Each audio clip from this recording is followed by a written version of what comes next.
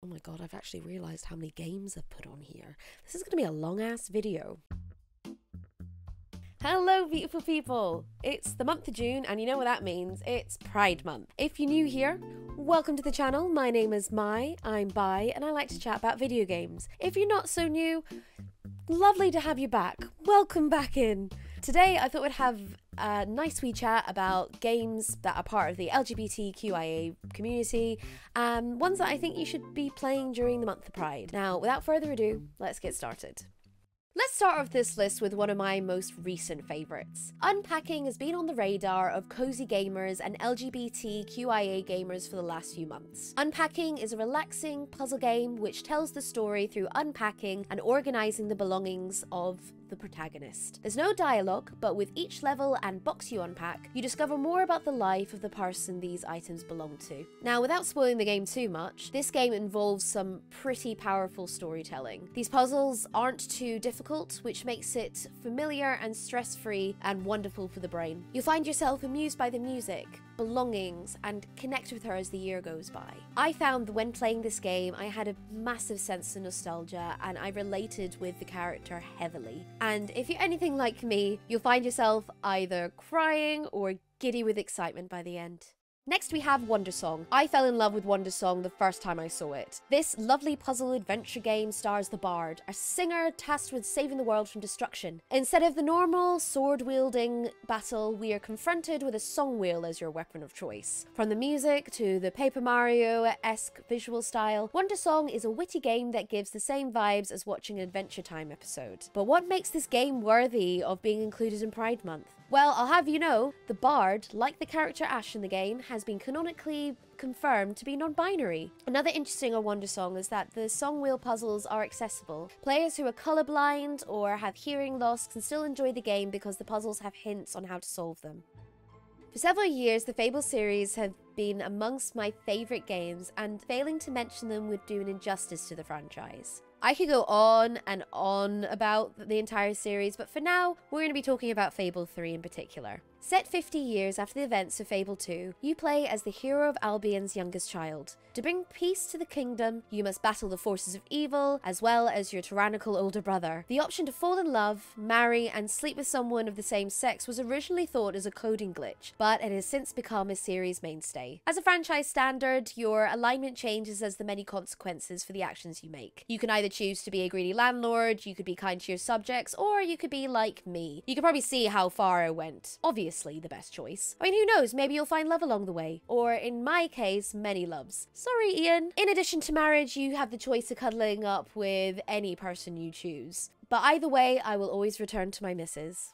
Celeste tells the story of Madeline, a young woman making her way up Mount Celeste in order to overcome her anxieties and inner conflicts. Like the struggles of mental health and identity, Celeste is a challenge, but with determination and perseverance, you are welcomed with a satisfying and utterly gorgeous game. Down to the tricky platforming, art style, and chiptune music, Celeste's story is a relatable one. In all honesty, I have no shame or qualms in saying that I still have yet to finish the game, but thankfully, for those who need it, there is an assist mode available, which I'm sure I will be definitely be putting on as soon as I find the game too difficult for me. Along with the tackling subject of mental health, Maddie Thorson, the game's creator, confirmed after much fan speculation that Madeline is indeed a trans woman. As you progress through the story of Celeste and Madeline's journey, you will come across some many interesting characters, as well as some beautiful visual style of the deserted city. Celeste has always been a game that has been recommended to me, and I've always been a little bit disheartened about the difficulty of it, but I know that my challenge this year is to finally complete it.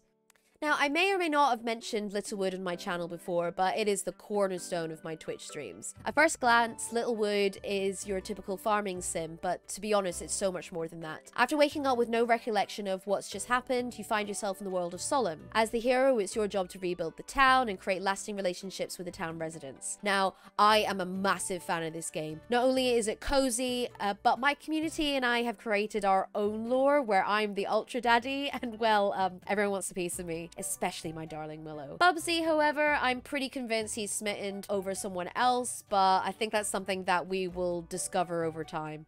See, creating your own lore can be fun too. When starting the game, there's no gender selection, and similar to the likes of Stardew Valley, you can marry every NPC in the game, aside from one. But I won't mention who, but let's just say they're perfect to me. Oh god, what can I say about Hades? Oh, I feel like when the developers were making this game, it was their goal to make the player as thirsty as possible. I mean, those of you who were in that particular Twitch stream of mine when I was shown a picture of Aphrodite, oh, you know what I mean. I mean, she's just... Oh my god, I'm getting goosebumps thinking about it. Anyway, the art style alone is gorgeous, the voice acting is superb, and the gameplay is, is again, challenging but gratifying. It's definitely not your typical roguelite. As the son of Hades, Zagreus, you must fight your way through the underworld in order to reach Mount Olympus. Along the way, you're given gifts by other gods to help make your time somewhat easier, but let's just say that every time I met a new god, I had to stop and breathe. Aside from maybe Charon, you're not my type. Each time you are killed, you are returned back to the underworld where you can either progress relationships, cuddle big Pupper Cerberus, and upgrade your gear. Trust me, with the way that this game is, I'm happy to die over and over again.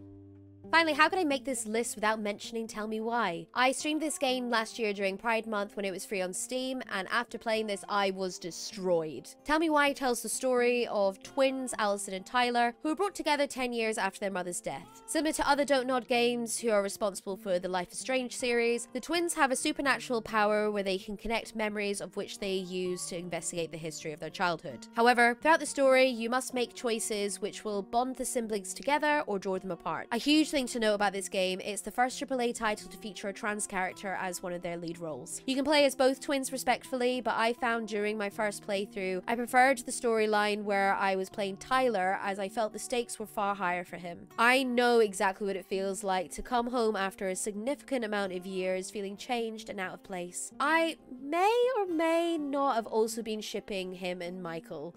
I'm shameless, I know.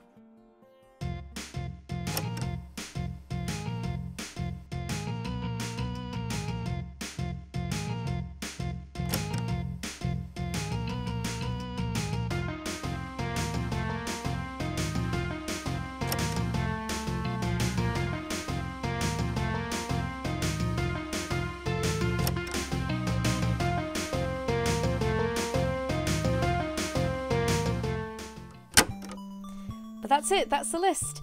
I worked really, really hard on this video, so I'd really appreciate it if you gave us a little like, maybe a wee comment, let me know what you thought. And whilst you're here, why not subscribe? A lot of you watch my videos, but you're not subscribed. It's free. You know, just click, click the little button below. Do it. Um, let us know how you're celebrating Pride this month. But yeah, in the meantime, have a good one. Happy Pride. Bye.